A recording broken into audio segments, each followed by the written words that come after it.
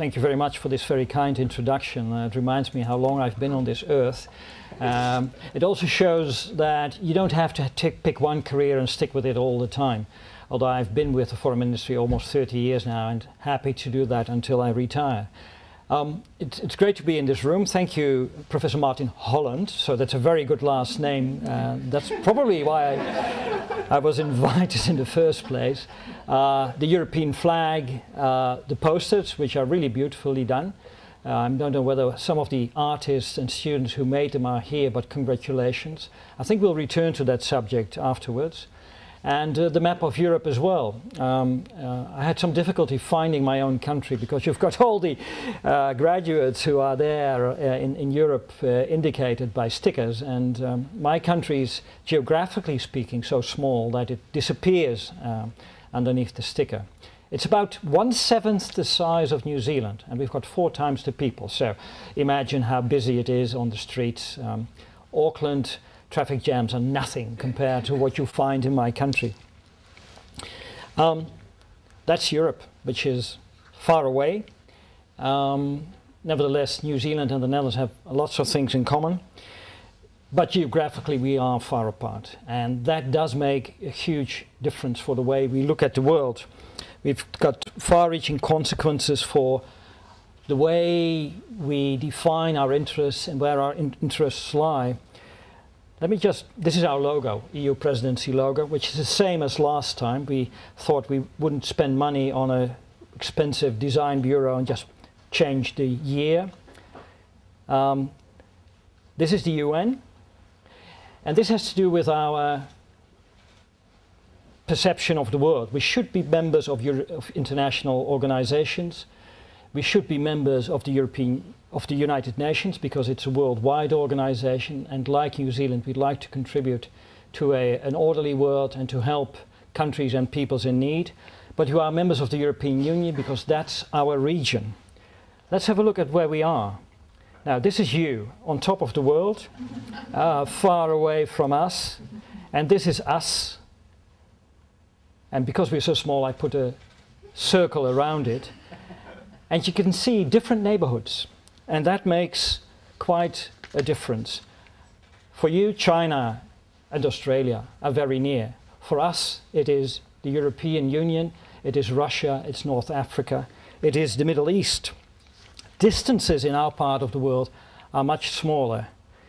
Once again, the Netherlands in Europe, and in blue, the UK still included. You see the member states of the European Union. Uh, this is going to be a challenge, and we'll come back to that later on. Switzerland is in the middle, grey. I'm fascinating to hear that the Swiss ambassador, who is a very good colleague of mine, uh, is also invited. I think it's very good to have his perspective on the European Union. Because very often now in the debate about UK in or out of the EU, Switzerland is presented as a possible model to follow. Well, I think my Swiss colleague will explain to you how close the ties are between Switzerland and the European Union and how many things that are decided upon determined by the European Union actually have to be adopted by the Swiss and by the Norwegians. So just leaving and thinking you can be like Switzerland doesn't really answer all the British uh, Brexiteers are posing right now. So here we are, we are the presidency of the European Union and but I was actually looking for our neighborhood and here we are. Just a bit more expanded, the map of Europe and you see where Russia is, where Turkey, Iraq, Syria are, where North Africa is. And just to imagine the, the distances, I've got here your neighborhood, and we project the European Union. So, that's quite small, isn't it? From Amsterdam to Moscow, by airplane, four hours, which takes you to the east of Australia. Damascus, the capital of Syria, is a bit further away than Brisbane is from Christchurch. So this is a very compact neighborhood. It means that all the things that happen in our neighborhood are very close to us. There are land bridges everywhere. The Mediterranean is much more narrow than the Trans uh, Tasman Ditch. Uh, there's no way we can avoid all those problems. And these are turbulent times for us right now. I think I should, I could, in an almost Chinese way, sum them up as three R's and a T: refugees, Russia, referendum, and terrorism. That's the T. And at the same time, I could say three C's: confidence, cohesion, citizens, and that has to do with the internal workings of the European Union. Let me point out two external challenges that we are faced with right now. One, of course, is the conflict in Syria, um, which is a conflict caused, first of all, by the regime of President Assad, because he's been waging war on his own people for five years now. And secondly, of course, the terrorist organization Islamic State, or Daesh as it is all, also called.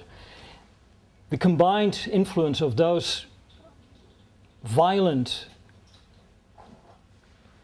actions, agents of violent action, leads to a flow of refugees from Syria, first of all to the neighboring countries. Turkey, I think, hosts to almost 4 million, if not more, refugees. Lebanon, Jordan as well. And then on to Europe causing, first of all, a huge problem for the states where they are entering the European Union, Greece in the first place, but also pressure on the European Union as a whole. A second uh, effect of that conflict in the Middle East, it's not entirely caused by that conflict, but it does play into it, is radicalization among young Muslims in Europe itself. I only have to refer to the attacks twice, actually, in Paris and in Brussels, and you know what I'm talking about.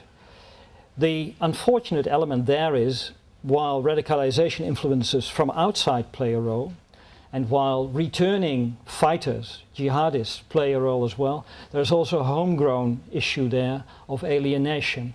So internal factors and external factors combine to pose us with a real challenge, one of integration, our Muslim friends, compatriots, or a small group of them, of them feel alienated, but also the siren song, if you will, of radicalization coming from that part of the Middle East where we have the Syrian and Iraq conflicts. My country is affected by too. We estimate that about 200 young Muslims from our countries, passport holders, have gone to Syria. We assess about 40 have been killed 40 have returned. We do keep close tabs on them. Hopefully we will be able, also through our developing contact with leaders of the Muslim community, communities I should say, themselves, to prevent radicalization and to present credible and attractive alternatives to the way of violent radicalization.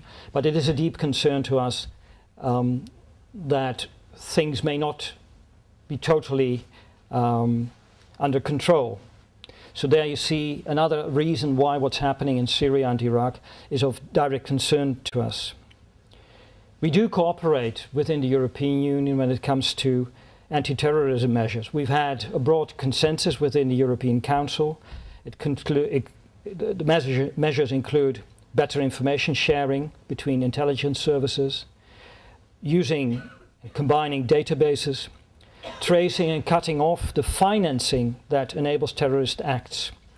But that's just internal. We also have to address the root causes in the Middle East itself, and that means engaging with governments as far as that's possible and see what we can do to improve situations in those countries.